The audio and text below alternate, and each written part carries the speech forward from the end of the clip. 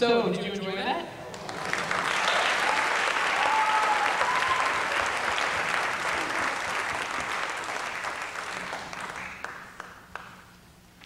In honor of Julia making the Ollie's Band actually being the only person in the history of Plymouth Whitemarsh High School to attain that honor, we've had some students make it to the orchestra, we've had some students make it to the chorus of Ollie's, but no one except Julia has made the Ollie's Concert Band. So we'd like to present her with this special award.